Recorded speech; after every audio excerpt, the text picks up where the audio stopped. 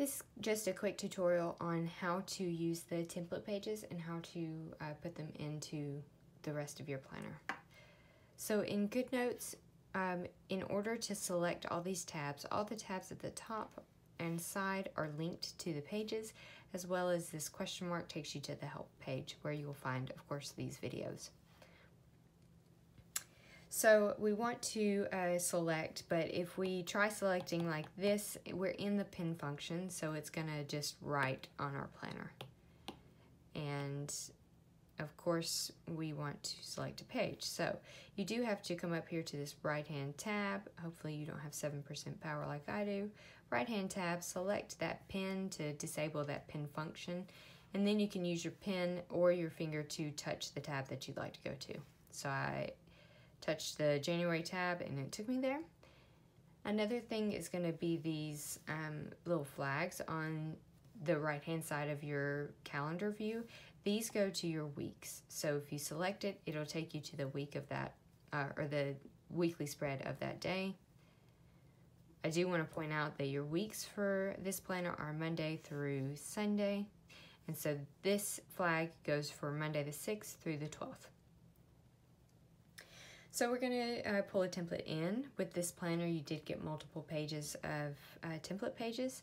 So some of them you already have up here in this uh, left-hand corner. We have tabs for household finances, meal prep. You also have them here, and if you want, uh, that's why I included them there. If you like to have your grocery list or your meal planning, everything in the week that you're working in, then you can do that. Otherwise, I would really suggest just keeping it in this tab and you can either fill it out and then erase it all when you're done or you can keep multiple pages if you'd like. Just remember that if you have a lot of pages it, you'll have to scroll through of course because they're not linked. So let's go back to our template pages.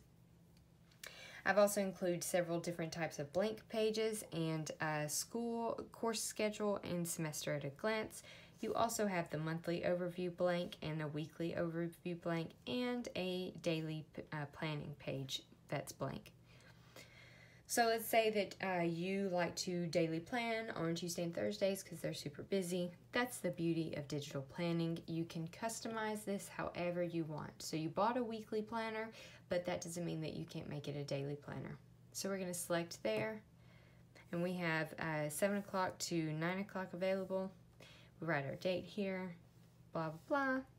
We're going to come up to this right-hand corner. There's the three uh, dots. And then we're going to hit copy page. Okay, so since we're in August right now, I'm going to select August. I'm to go to the week of my school, which is the 19th. So that one. And I want my page to go in here. So what I'm going to do, I want it to go after. We're going to hit our plus up here. Be sure you select after and hit uh, paste page. So that put your new paid daily planning page right after that. And you could do that multiple times. So let's say you want to do one for every day of the week. You can just hit it five times and it'll put it in there five times. All right. Just a quick tip about GoodNotes. You do hit this top one here to see a quick layout of all the pages. Once you've loaded your planner once in here and you've loaded uh, multiple pages and everything, it'll start loading faster. It just has that uh, little bit of a memory lag there.